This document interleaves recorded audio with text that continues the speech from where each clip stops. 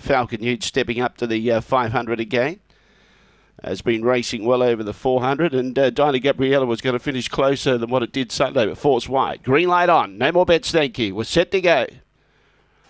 Away in racing. Favourite began fair. Showing good speed. She Stunning's going to find the lead. Now, Naughty Nat's trying to push up on the inside. Gets the dream run through. Then bumps with the leader. But Naughty Nat goes to the front. She's a Jinx gets up on the inside. Behind those gutter journalism starting to stoke up. Looks very dangerous. Just splinters out wide trying to wind up. Another Mai on the inside. The others are all bumping with each other at the tail end of the field. They include Falcon Ute, Dinah Gabriella, and she's a stunning. In the meantime, Naughty Nat goes wide. Uh, it goes underneath that now. Gutter journalism. Gutter journalism got the lead and wins from Naughty Nat. Third was just Splinter. Fourth placing another Mai. Then in turn behind those, uh, we had uh, Falcon Ute alongside of it. She's stunning at the tail of the field. Dinah Gabriella and she's a Jinx pulled up at the tail. The time was uh, 31.62 at 6 2 and 4.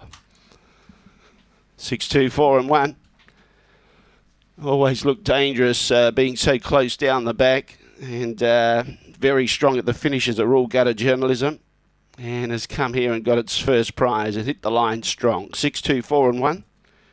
Six, two, four, one. The judges' number six, two, four, and one. Thirty-one, sixty-two. The time, and uh, the run home will get very shortly. Ahead by a neck. The margins ahead by a neck. Good finish in the first. Six, two, four, and one. Ahead by a neck. Thirty-one, sixty-two was the time.